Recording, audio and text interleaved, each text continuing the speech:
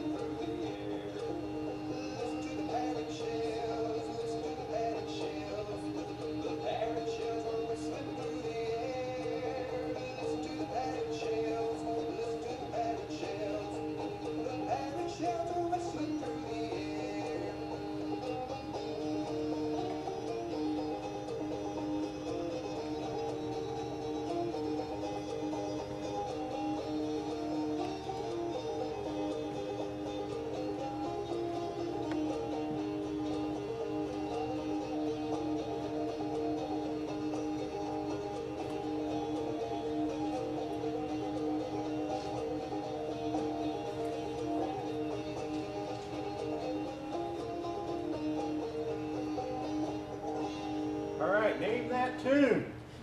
Listen to the mockingbird. Anyway, we had two presidents in the United States that started the Civil War. Vicksburg, actually started, the siege of Vicksburg started on May 18th, 1863, and we had two presidents at the time in the United States. One president was President Abraham Lincoln, and this is what he said. He said, see what a lot of land these fellows hold, of which Vi- Vicksburg is the key. The war can never be brought to a close until the key is in our pocket. We can take all the ports of the Confederacy and they can defy us if they still possess Vicksburg. President Jefferson Davis, who was the president for the Confederacy, who owned a farm about 30, I believe it was a little bit less than 30 miles south of Vicksburg, or a plantation, I guess, not a farm, said Vicksburg is a nail head that holds the South's two halves together. And so the Mississippi was the major source of food stuff, anything, because the United States could not blockade Mexico. So a lot of the material that the South was getting to, that were sending to their army in Mississippi and, and Louisiana was coming by way of Mexico. Because the United States could not blockade, it could not invade into Mexico waters. And so a lot of stuff would come across the river at the Mississippi River. Now, this was kind of the key to me. This is a wartime picture of Vicksburg. You'll see right there that it's kind of the courthouse in Vicksburg. But this is not the view that the Army had. This is more the view that the Navy had. The Navy had, uh, the, the U.S. Navy under Admiral Porter had ships off in the Mississippi River where they were shelling the town of Vicksburg.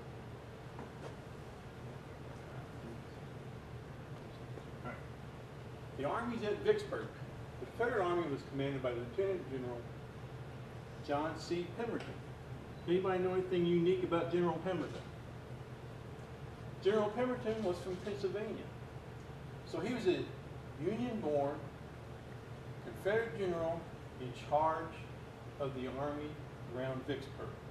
The Confederate Army had approximately 34,000 troops during the siege. There was 13 states that were represented at the Battle of Vicksburg. They had troops from South Carolina, North Carolina, Georgia, Mississippi. Every state in the Confederacy had at least one regiment represented at the Battle of Vicksburg. There was 15 Missouri Confederate regiments at the Battle of Vicksburg.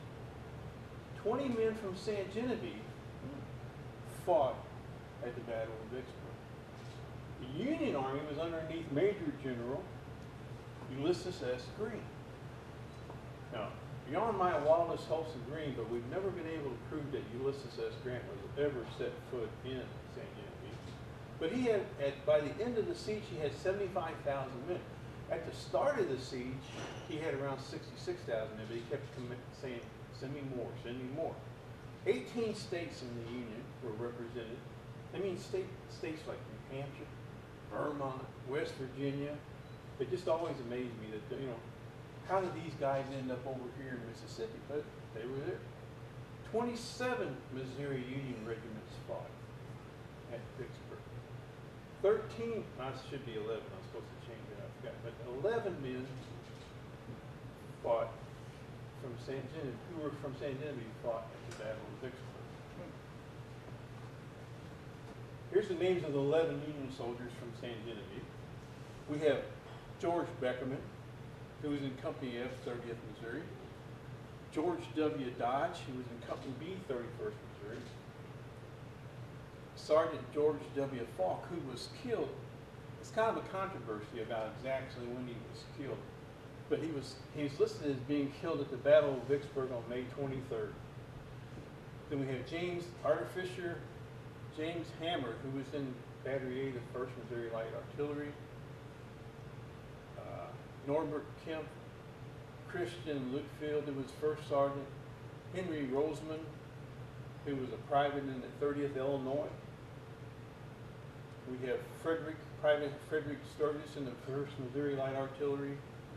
Private James Ball in Company A, 130th Illinois. Joseph Vorst, who was a lieutenant in the 12th Missouri Infantry. And Jacob Ely, who was a private in Missouri Light Artillery. I don't know if you're gonna tell it later, but George Beckerman and, uh, Henry Roseman became head of the GAR here later Yeah. on. I was gonna cover Okay, that. sorry. Oh, that's good.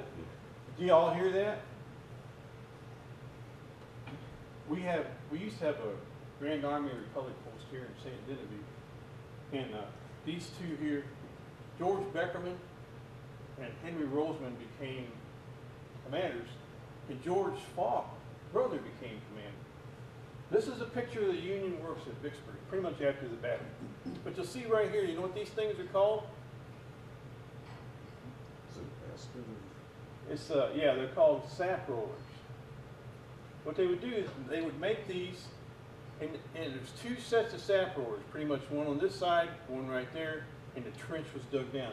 The sap rollers were, if, if you all look up here, I think I have a picture, anyway, there's a picture on one of these pages on these magazines up here, where they're making the sap rollers, and what they would do is they would make a basket, like Bob said, and they would fill the basket up with reeds or little limbs and stuff, and they would call sap rollers because a lot of times they were freshly cut, so they were still leaking sap, but they would roll, and they would use these to hide behind to build their trenches and stuff, and so they, they would roll them kind of like a, we all know in Missouri, the Hemp Bale battle up at Lexington, it's the same concept, they would roll these sap rollers in front of them, and then they would put them up here, and then they would start filling them anything they could with dirt. A lot of times, but these was basically would be amazing how many mini balls this something like this would stop. But these were the Union Works was pretty much how do you say this? A work of art, almost. The, the works at Vicksburg were studied by countries like France and Germany. And a lot of people say that the trenches that were used during World War One, where they learned how to do this when they first started the World War One, was from the works, the studies that they did of the works at Vicksburg. Now this is a picture I took, and I think it had to be around 1994, or something like that. And this guy's non, he never served in the Civil War, but he's actually a federal employee cutting grass. Uh, But this is called zigzag trenches, okay? They could not build a trench, you know, they could- they didn't build a trench and then run forward and build another trench. In order to approach the, the redans and the fortifications around Vicksburg, the Union soldiers built the trenches like this. One thing I read uh, in a book one time, this guy said that he would go to, they would fire all day, he'd go to sleep at night. Soldiers and engineers would build trenches during the night. And he said when he got up in the morning, he'd look, it was like a whole new line. You know, just amazed how much work they did during the night. This is a good example of what the Union troops did, and they called it a zigzag trench. This is a map of the assault of Vicksburg. General Grant, when, after the Battle of Champion Hill, the Big Black River, Jackson, the Confederacy ran into the, through the works and that were already prepared and set up their defensive line. General Grant did not want a siege. So they, the Confederate Army retreated to Vicksburg and arrived there on May 18th, 1863. General Grant's troops arrived there, and it just seems like General Grant wanted to attack them. He says, let's, they're demor- demoralized, let's get them while they're beat, you know, and they'll surrender if we show a force. So he took General Sherman's 15th Army Corps, General McPherson's 17th Army Corps, and ordered them to attack. General Grant ordered this attack on the primarily on the Stockade Redoubt, which is right here, which was occupied by the 27th Louisiana. Now the troops from St. Genevieve, like the 30th Missouri and 31st Missouri, which we have several in the 30th Missouri, they were underneath Colonel Manter's command. You notice there's a little stream or a little creek right here? Well, this was a ridge that the Union occupied. This is a ridge that the Confederates had their works on. So Manter's men, or men from the 30th Missouri and the ones we have in the 31st Missouri, attacked from here. And attacked from, but they weren't the major attack. Their whole goal was to attack here and keep these troops occupied while the main thrust was do this redan. Does anybody know what the word redan means? Or, I'm not even sure I'm saying it right, it's spelled R-E-D-A-N. Well, I didn't know either. It basically means a arrowhead shape. It sticks out past the main lines and was supported by troops on either side. But the troops inside the Redan, Stockade Redan, which later became better known as the 27th Louisiana, was the 27th Louisiana. So you had people coming in from McPherson's army and some of General Sherman's army attacking. The artillery that was on, on these ridges on, occupied by the Union, they were firing at the same time. General Pemberton had sent a report to General Johnston during the battle, and he said, we've had eight hundred guns fire at us almost nonstop, day and night. And that's counting the, the river boats, and then there was even some mortars set up over here on this DeSoto, Pennsylvania, Peninsula, that were firing into the city. The Union suffered in this assault 157 killed, 777 wounded, and eight missing for a total of 942. The best records we have of the Confederates was eight killed and 62 wounded, 70 casualties. And that's the thing there is about attacking a fortification. You know that you're going to lose at least three times as many as the enemy is. This is way more than three times as many. So that's how strong these works were. So a couple days later, General Grant, still not wanting to go into a siege, decided it was time to try again. What he did was he decided instead of having just a small attack on one primary location, there were going to be major attacks all the way across the line. You still have General Sherman up here. Here's Manter again. This is uh, where the 30 members of the 30th Missouri that were from St. Genevieve fought in. And a couple of them were in, in Colonel Woods's, Charles Woods's uh, brigade. Then you had McPherson's. You remember previous one, McPherson was more up here. Well, he had slid around down here more. But again, they attacked the stockade down, or the Louisiana. But then there, you see the strong attack here. Then down here, you have McPherson attacking. And then you have McClernand. And I'm going to cover the 6th Missouri Confederate Infantry, which several, 11 of the men of the Confederacy served in the 6th Missouri Infantry during the Battle of Vicksburg. They were in General Bowen's, John S. Bowen's division. General Bowen's division was in reserve. In other words, he was sitting here. He had Colonel Cockrell up here, who's one of his uh, brigade commanders.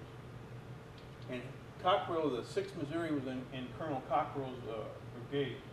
But they sent, here's where the 6th Missouri was fighting. Up in here was some of the other rest of the Missouri units Confederate, like the 5th and the 3rd and the 4th.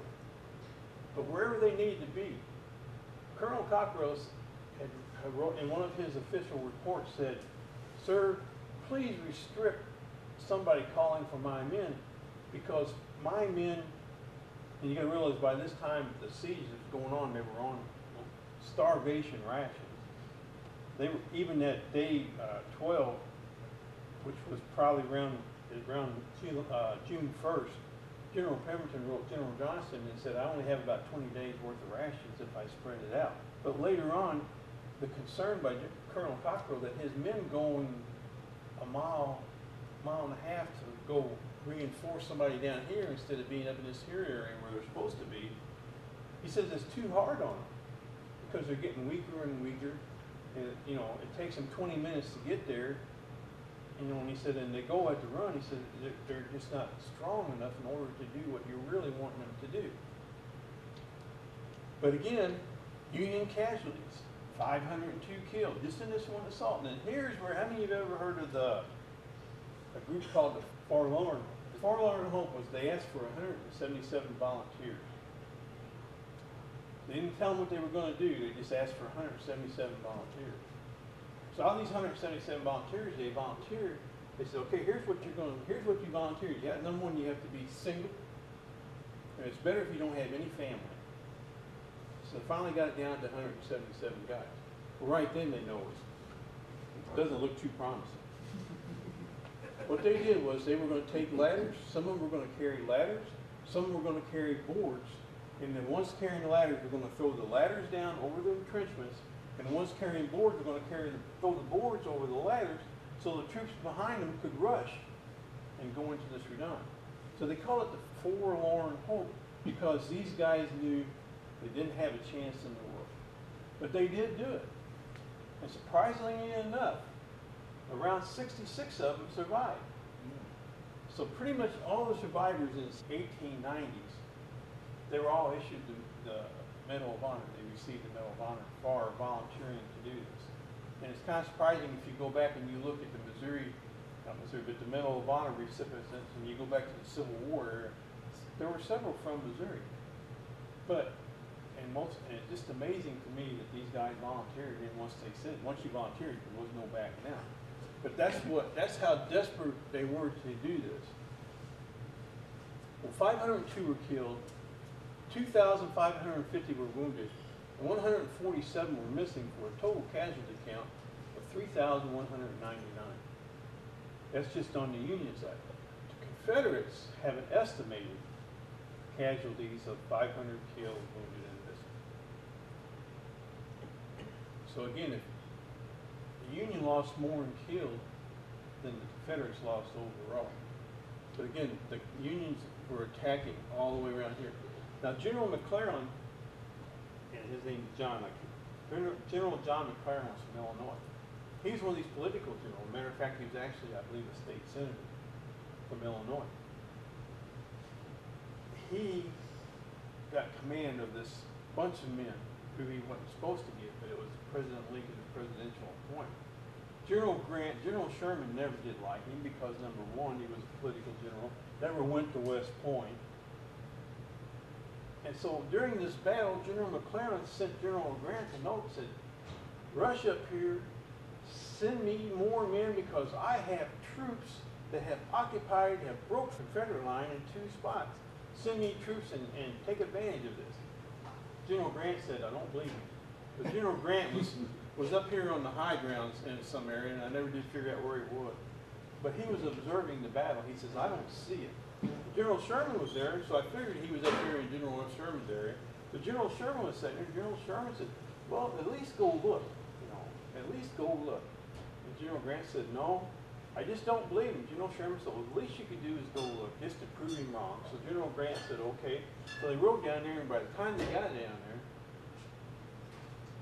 you know, they had lost the opportunity. And so General McClernand later on in, in June, I believe, of 1863, later in the month, said, sent out a letter to his troops saying, thank you for your great and, and noble duty during this battle on May 22nd. And because of this, I will win Vicksburg. And General Grant took it personal and relieved him that day because he figured General McClernand was right there start looking to say, I'm gonna get presidential aspirations. But this is the second day. After this day, it pretty much settled into a siege. And this is the siege line. The Confederates and the Union were up here on the ridges. General Sherman's still up here. By this time, Colonel Manter's uh, brigade is over here, right at, in, right around in this area. They can see the river. Some people call that Fort Hill in this area. The siege became one of, you know, pretty much just out waiting, waiting till the Confederates surrendered. Pretty much what it was. But they just didn't sit there. The Union troops were always, go back to this zigzag trench, they were always trying to get closer, get their line closer and closer. They were always sharpshooting. If you go to Vicksburg right now and go up here on the Union line, where the sharpshooter line they call it, they were sharpshooting at the Confederates. The Confederates poke their head up, they shoot them. Same thing with the Confederates. So the Confederates were sharpshooting the guys in the trenches. But the Confederates were losing men day and night. Just, they were taking casualties, it was terrible. Not only from rifle fire, but also from these cannons. You see here, by June fourteenth, Grant had received enough reinforcements where he was around seventy-one thousand men. He had two hundred and forty-eight pieces of artillery, two hundred and forty-eight guns, plus all the guns on the boat. And I'm not sure, I got the eight hundred guns from General Pemberton's report, so he might have over-exaggerated it a little bit. But the thing, the problem with the Confederates was, they were expending ammunition that they couldn't replace. General Grant was expending ammunition that he didn't have any problem replacing. So General Grant was in this position, had him where the Confederates couldn't get out. Then, about this time in the middle of June, General Johnston had arrived at Jackson, Mississippi, which was the capital of Mississippi. And he arrived around 8,000 men because the Confederate uh, uh, president told him to go and relieve the pressure on General Pemberton's men so they can, these men can be evacuated because men were a more valuable resource to the Confederacy than holding the city. That was General Johnston about him. But President Davis says, no, we're holding Vicksburg. I want you to go in there and relieve the pressure on General Pemberton where he can at least get some of his men out and cause the city to stay in the Confederacy. But like most politicians, they were on the field, they had no idea. General Pemberton sent General Johnston a note and says, how many men do you have? General Johnston said, I have around eight thousand men with, that came with me. Then he got General Loring's command, which was actually part of General Pemberton's command that got separated at the Battle of the Big Black River at Champion Hills. So they had around fourteen thousand men. All in total, by the time General Johnston was ready to relieve the pressure on General Pemberton, he had around thirty-two thousand men. To get back to the battle and the siege, the 6th Missouri Infantry Confederate, like I said, during the battle we had 11 men who served in, from San Genevieve, who served in the Battle of Vicksburg. Five of the men who served in the various Missouri artillery units originally enlisted into the 6th Missouri Infantry underneath the assumption that when they enlisted into Company I, Company I was going to be an artillery unit. But Company I did not get enough men or enough equipment in order to have a good artillery unit. So they all pretty much enlisted into the infantry except for around five of them, who later enlisted into this artillery. Like Guy Bars, you'll see here you have John F. Abishire, you know, he was captured at Vicksburg. He was sent to the prison at Gratiot Prison. Then he was sent to a, a prisoner of war camp in Indiana. And then he was sent back to the provost marshal because he decided to sign the oath of, oath of, of allegiance to the United States, a loyalty oath as they called it. But then somebody had to post bond. But the person who posted bond was John Abshire from St. Genevieve, and the bond usually at this time of the war was around a thousand dollars. Now, Private Edmund Beard was captured at Vicksburg, but he died in Grand Forks Prison in July of 1863. Alexander Harris died of his wounds at Demopolis, Alabama. When they surrendered, when General Pemberton eventually surrendered, the men were pardoned.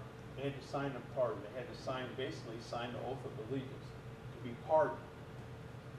They were promised that if you did that by the Confederate general, if you did that, if you signed this oath of allegiance, that you will be pardoned. But then you can fight again. So that's what most of the men did. They signed this with the idea of like, I am not ever going to not fight for the Confederacy. Private Charles Howard, who was captured at Cha- Champion Hill, which was right before the Battle of Vicksburg. Eli Labriere, who was wounded in the right heel, right thigh at Champion Hill. He also surrendered, so he survived his wound. Corporal Adrian La Lamadure, who was captured at Vicksburg. Corporal John Leftwich, who was wounded at Vicksburg, said his left leg was shot off. Then they amputated his leg off at the thigh. Musician Edward Seisler surrendered at Vicksburg. Then come, that's just all Company I. Then Company D, Augustus LaRose was wounded at Vicksburg. Private Augustin Leon Commerce was captured at Vicksburg. And Private Joseph J. Winston was captured at Vicksburg, but on the way to Demopolis, he deserted. Augustin Leon Commerce was a member of the Company D, 6th Missouri Infantry. He most of the times it said, in his records, it just says Leon, so he's known more as Leon Thomas. Now, he had a brother named Felix. Him and his brother served on the uh, CSS Arkansas, which was a gunboat. In September of 1862, it was sunk by the Union Navy. But his brother Felix died there, but he survived. And correct me if I'm wrong, what happened to Leon Thomas? He moved to St. Genevieve. He returned to St. Genevieve after the war. He was the one that was killed by the Union sympathizers when he got home. If you read this, read this book by Bob Schmidt, I can't remember the name of it exactly, but he talks about the letters of, of, uh, Boys Alexander- the Best Families. say again? It's called Boys from the Best Families. Yeah, it's got, it's got, uh, letters in it from, uh, Alexander Chadwell. Alexander's dad Gideon says, don't come home, because they're killing returning veterans. And the ones he was referring to was this Augustine Leon Thomas, who's buried in the Memorial Cemetery. Now, the thing of it is, Alexander Chadwell spent eight years in Nashville, Tennessee, and then once his father got sick, he returned back to night, returned back to uh, San Genevieve. So even though the war was over, the war wasn't over in Missouri. These are the names of the ones who served from San Genevieve. We have 20 of them from the, for the Confederacy. Some of them are already talked about. We have men in our light artillery, 3rd Missouri Cavalry, Landis Light Artillery. You have Guibor's, battery, like this Xavier Labriere. He was actually one of the ones that initially enlisted into the Company I, 6th Missouri Infantry. You have Wade's Battery. Here's another, that's John Lethwich. Uh, I'm a, I don't know any different, but I, I'm assuming that he survived, you know. But these are the names, 20 names from St. Genevieve that served in the Confederacy at the Battle of Vicksburg. Some of these guys were later killed at places like Atlanta, Allatoona Pass, uh,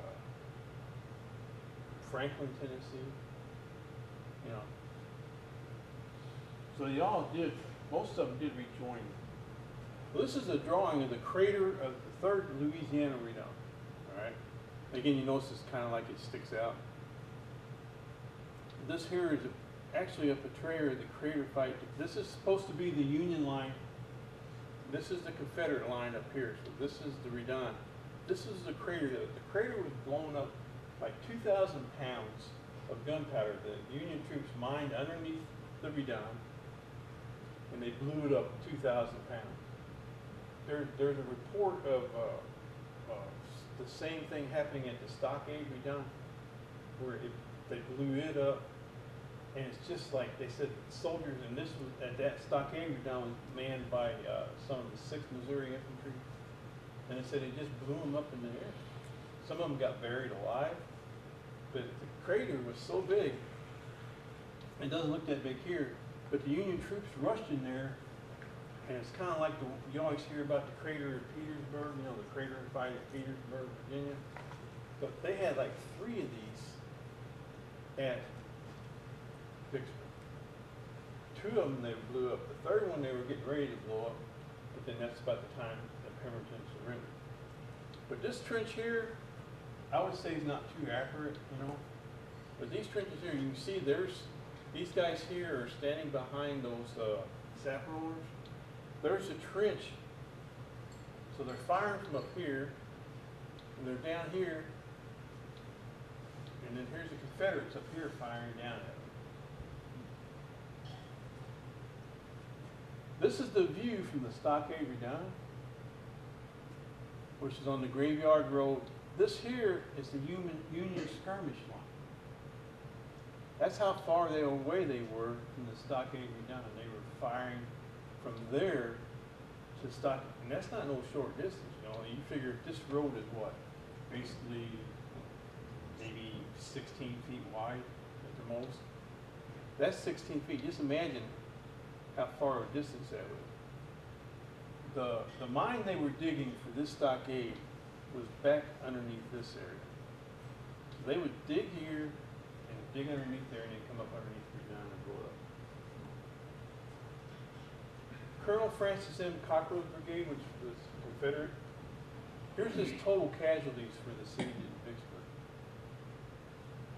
And if you notice, Sixth Missouri Infantry suffered the most casualties.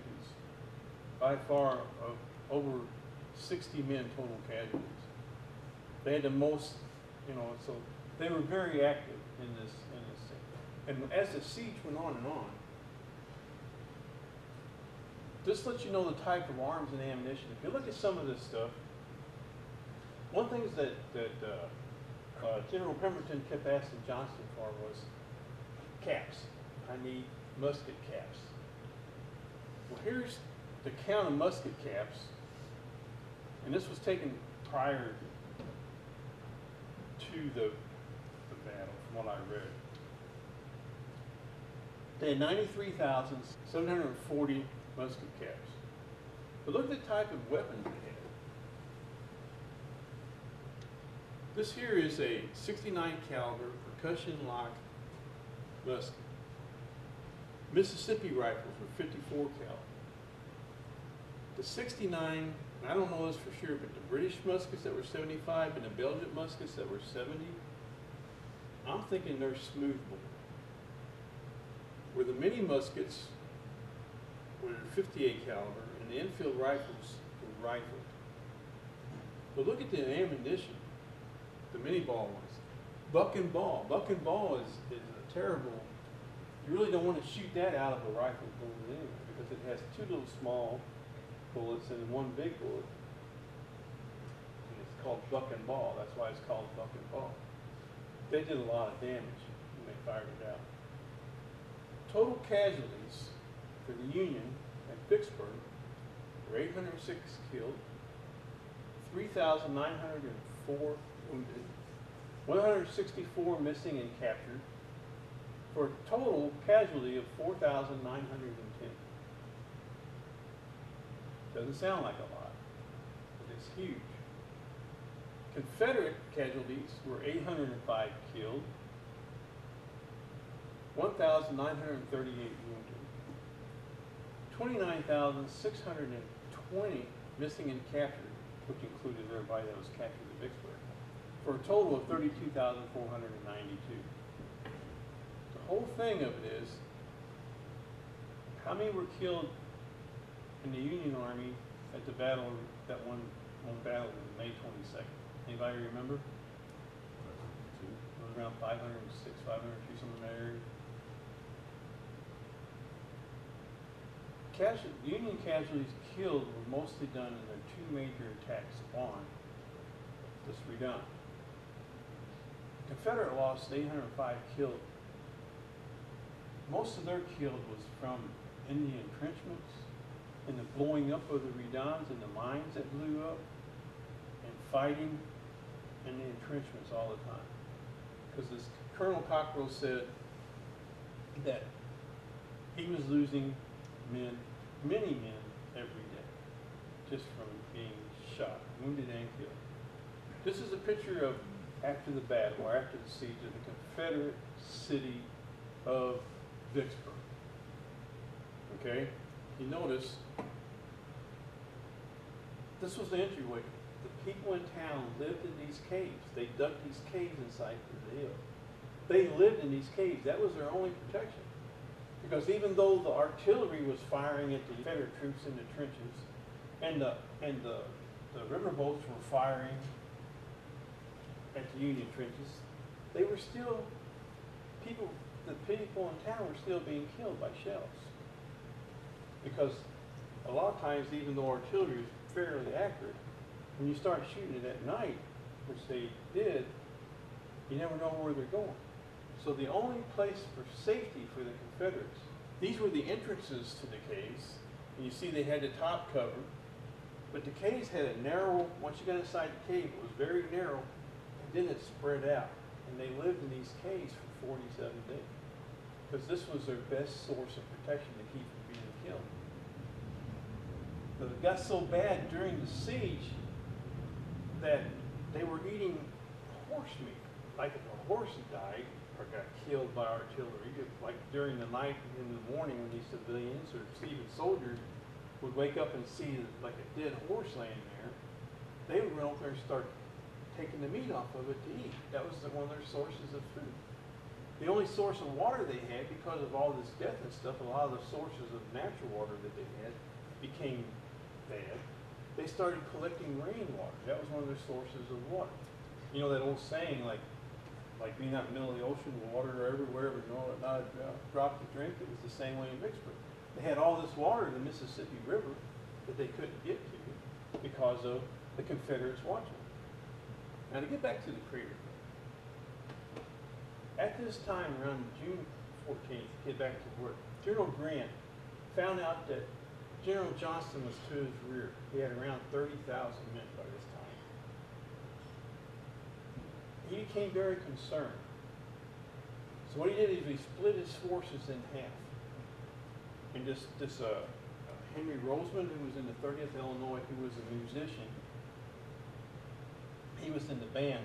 He was part of General Sherman's army that went to the Black River and was waiting to set up, they set up defensive positions in order to guard against General Johnston coming in and attacking from the rear. So General Grant was fighting a battle on two fronts. General Johnston, if you know anything about General Johnston, he was a very good general. He was not very aggressive, but if he saw an opportunity, he was probably one of the better generals the Confederacy had, at least in my opinion. But he was also very concerned about his men. His men loved him because he would not waste the lives of his men. But he never saw an opportunity in order to go to relieve General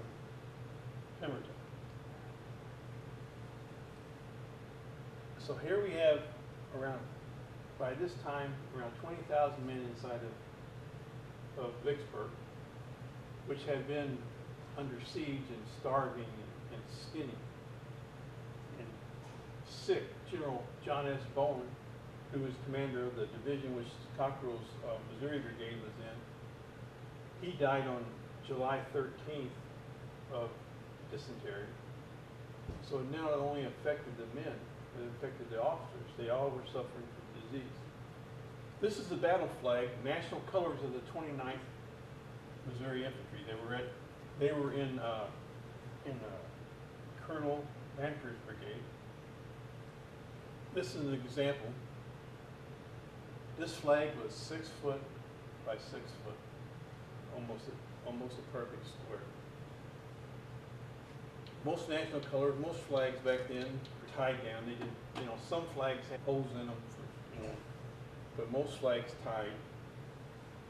This is the flag of the 7th Missouri Regiment. They were the ones that fought at Stockade Down as far as, as well as did the 12th Missouri. They suffered numerous casualties. Over half their regiment was either wounded or killed the, in this charge on the Stockade Down. But you notice the names on their on their flag. Corinth, Mississippi. Port Gibson, which is on the Mississippi. Raymond, Mississippi, which was one of the battles prior to the siege. Jackson, Mississippi, which was one of the battles just prior to the siege. Champion Hills, Vicksburg, May 22nd, they were on this. And then the siege of Vicksburg. This is the other side of their flag, and it says Veterans 1864. In 1864, when most of these regiments, like the 7th Missouri, that had enlisted in 1861, their three years were up. And in order for them to, the United States Army to try and keep these men, because they were well-seasoned veterans, they said, if you become a veteran regiment, we will give you 30 days to leave. You can go home, come back in 30 days, and just pick up where you left off. And this was in January of 1864. And you will be able to display the word veteran on your flag. And a lot of regiments did. It wasn't just Missouri, it was every, every regiment in the, in the, in the U.S. Army, in the Federal Army that had enlisted in 1861 had this honor. This is the 6th Missouri Infantry Regiment flag. This is at, uh, Shiloh National Park. Has the thirteen stars on it. This is the Missouri Monument. We have a member here, and a member of our camp here, Scott Reed, who took this the, but this monument is placed upon the stockade redoubt. This monument has both sides. This is the only monument in Vicksburg that represents both sides. This side here represents the Confederate. This side here represents the United States forces. The Missouri Monument, you can read for yourself. It's on the stockade redoubt. That's where my regiments of Missouri from the south and regiments of Missouri from the north met. They fought against each other. So it was kind of like brother against brother. I've got this print somewhere. And I was telling Bob about it, but I couldn't find it. I think it's out in storage somewhere. But there's a, a Harper's Weekly, which I have a couple examples of Harper's Weekly here you can come up look at afterward, where they have a drawing of the Sixth Missouri Confederate and the Sixth Missouri Union, two brothers, one in each regiment. We met across in the middle, in between the lines, and we're discussing problems at home. You know, have you heard from mom? And I written it, the guy, yeah, she's doing good. Mm-hmm. Because the Confederates, you know, like, if you were, lived in St. Genevieve and you want to write your son in the Sixth Missouri Infantry Confederate, there was, you couldn't send him a letter legally, because then you were conspiring with the enemy. And by conspiring with the enemy, you were therefore subject to being arrested and sent to Gratiot prison. Hmm. But the monument is 42 feet high, which represents the amount, the total number of regiments that fought at Vicksburg. 27 Union, 15 Confeder- Confederate. The monument features a bronze angel, which represents the spirit of the Republic, which is in the middle. And it was sculptured and erected for $40,000 and dedicated on October 17, 1917. This monument today, just in the past two weeks, for about the last two years, the the Union Veterans of the War have been trying to get funds to have this monument repaired. It does have some damage, you know, mostly weather related, but there is this interior. So we've been trying, we actually got, last year, we got three hundred seventy-five thousand dollars in the budget just for this one monument. That's what the National Park Service at Vicksburg says would take to repairs to really good condition. But the money got locked up somewhere in another department, and then they said they would, couldn't spend it because it wasn't legal for them to spend it for that. So just recently, within the last, this last week, we found out that the National Park Service has found the funds in their budget in order to repair this monument. And the reason they said they actually wanted to repair it is because it is the only monument in all of Vicksburg on the national park, and they have tons of monuments that represents both men from both sides. This is a close-up of the Confederate side.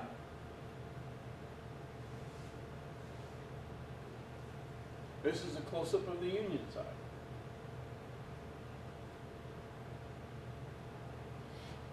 Total twenty-seven Union, fifteen Confederate, approximately fifteen thousand men from Missouri fought. This is a book called The Dearest and the Best, written by Gary D. Truman.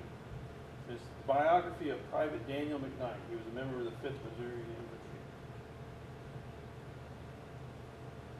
And here he says, Colonel Cockrell said he was aware, oh, one man, Daniel Monahan, shouted he would never surrender, especially not the day it was on, after all, the Fourth of July, Independence Day. General Pemberton met with General Grant on July first. He said, I would like to surrender, return to surrender. General Grant said, unconditional surrender, no terms. General Pemberton said, very well, we'll continue to fight. We're not beat yet. General Pemberton on July third says, let me talk, let's talk again. General Grant said, okay, here's the terms, I'll give you terms. Officers may keep their sidearms and their, their sabers. Men will surrender all their weapons, all regimental flags, and will march out of the works they'll be taken to a spot, and the ones that sign parole will be taken to a spot where they'll be turned back over to the Confederacy. So General Pemberton would not surrender his men to go to prisoner of war camps. He said, he told General Johnston, if I can surrender my men and let them be paroled, then keep my men in the Confederate Army, I'll surrender. But he was shooting for July fourth because he thought he would get better terms. And he did, he got a lot better terms because General Grant was always known for U.S. Grant, unconditional surrender. Here's something else I'd like to read if you don't mind.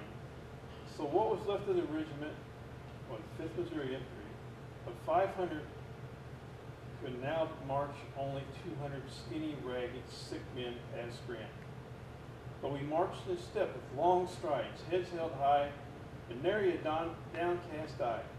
We looked neither to the right nor to the left, but straight ahead past the blue cloaks lining each side of Jackson Road. I heard a Yankee officer quietly, respectfully order his men to present arms as he saluted our barefooted and tattered band. After stacking our rifles, Sergeant Walton laid our frayed, perforated Missouri battle flag atop the pile with the reverence of burying an old friend. After rejoining our remnant of the regiment, we dressed our lines and stood at attention. No voices were heard save the subdued orders of our officers to unbuckle our belts and drop our empty cartridge and cap boxes at our feet. Here's the thing. General Grant ordered no band playing or no triumphant marches downtown until after the Confederate officers had dismissed, their formations. Here's, here's this, uh, Private McKnight again. After the surrender ceremony, Jenkins set up tables with stacks of papers. File by file, we shuffled forward, signed paroles, swearing on our honor allegiance to the United States, and that we would no longer fight against the Union. We all signed it. It was either that or board a boat for Alton, Illinois prison. As soon as we signed our paroles, the Yankee soldiers really surprised me. They treated us as if we were no longer their enemy. The first time, we looked each other in the eye without the rage of battle, and I guess Frank, me, looked mighty pitiful because some Illinois boys shared rations with us. We tried, we tried to pay them with what tobacco we had, but they would have none of it. The killing was over. They were happy. So were we. For the first time in two months, I slept with a full belly and without fear. There's a plaque there that denotes your brother's fall. Private George Beckerman on the left, Company F, 30th Missouri. He's holding a saber right here. This is musician Henry Roseman from the 30th Illinois. This is First Lieutenant Joseph Forrest of Company A, 12th Missouri. And that concludes my presentation. I'd like to thank you all for your attention. Does anybody have any questions? Yes, sir. That one picture you showed of George Beckerman, pretty interesting. It was kind of taken in front of where the anvil is now. George Beckerman was a big produce farmer at that time. And he used his Civil War saber to make uh, sauerkraut. He would, he would grow he would grow his cabbages, and that's what he chopped the sauerkraut with was his saber. And he would load those the produce in his wagon that they showed there, and he would drive around St. Genevieve selling his produce.